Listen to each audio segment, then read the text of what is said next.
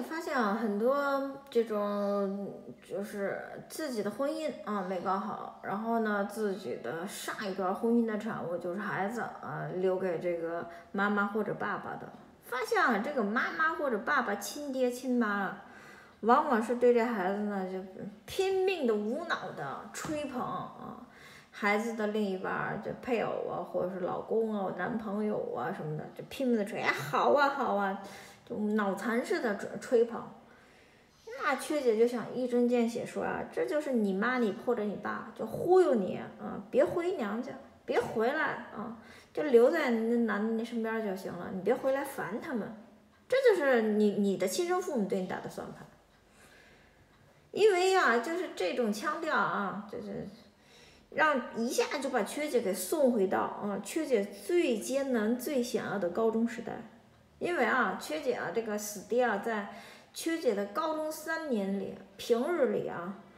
总是毫无征兆的，就完全没有前因后果，没有任何铺垫的，他总能无缘无故的，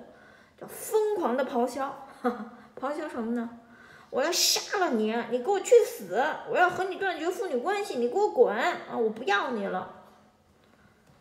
这就是，嗯，缺姐的死爹在缺姐高考之前提到的。强烈的啊，这个镇静作用啊，经常给缺姐打了一针强心剂，就没无缘无故的啊，就在屋里，你你才待着，在屋里没待几分屁股还没坐热呢，他突然就疯狂咆哮，就在你隔壁，隔壁的房间就开始咆哮起来了，你都不知道发生什么啊，但是呢，偶尔的啊，时不时的穿插着，死爹又是在他的房间里啊。他也不看着你，他又你又不能在他房间待着，嗯，他你要在他房间待，他就把你赶出来。他就是做梦一般的口气，因为他那房间也不关门啊，他要要开着门的时候，他就做梦一般的口气，用一种特别天真啊，充满了天真浪漫幻想的啊，期待憧憬的口气，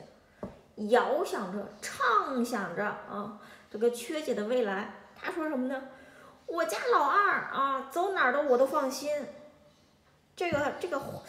这真正的话你得这么听啊，那就是我不 care 你，我不在乎你啊。我家老二吃不了亏，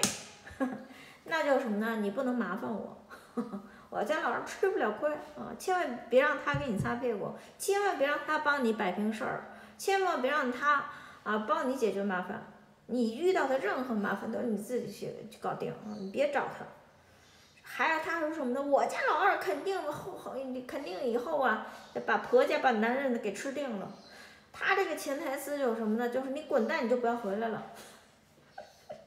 而且呢，我死爹啊，这这个口气里啊，说这种话的时候，他还带着一种激动和亢奋啊，充满了喜气洋洋的希望啊，就好像他呀。正在吃着缺姐结婚的喜宴一般啊，甜蜜的、兴高采烈的、敲锣打鼓的送走了瘟神，就这种。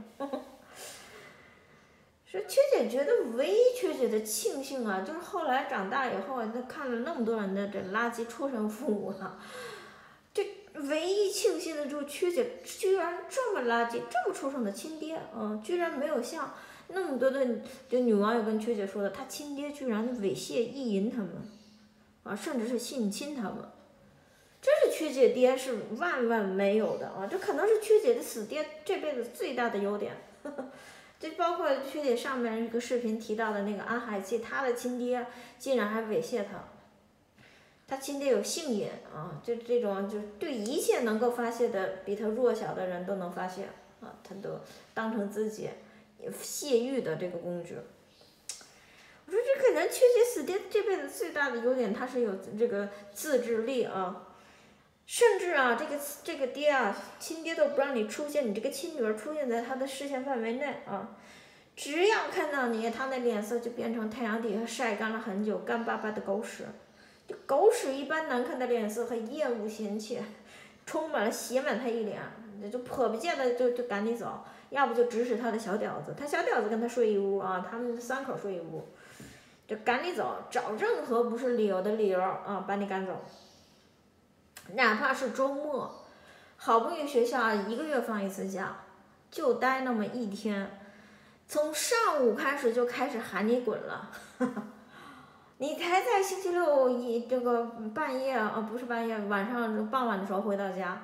他已经在啊这个第二天上午星期日的啊上午就开始喊你滚，他连中午饭都不想让你吃，就让你滚，赶紧滚。所所以说呢，这个就是。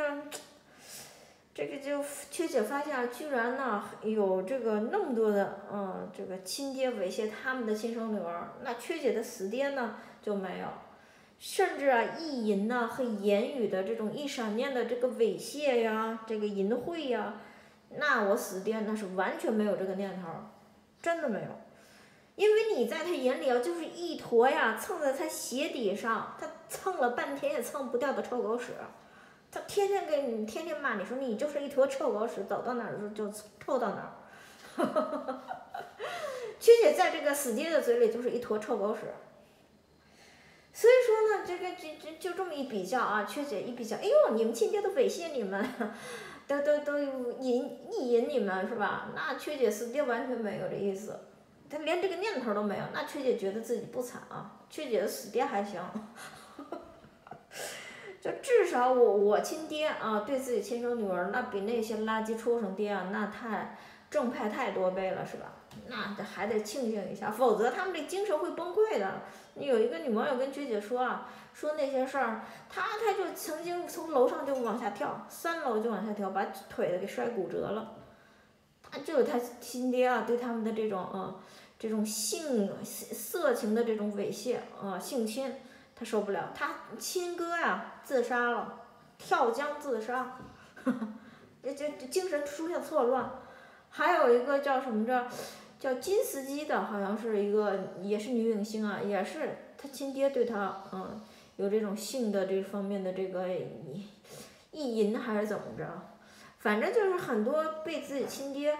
呃就是猥亵过、性侵过的。甚至比强奸好像比陌生人强奸这个伤害还要大，好像是的，应该是，就精神上就从小就出现问题了，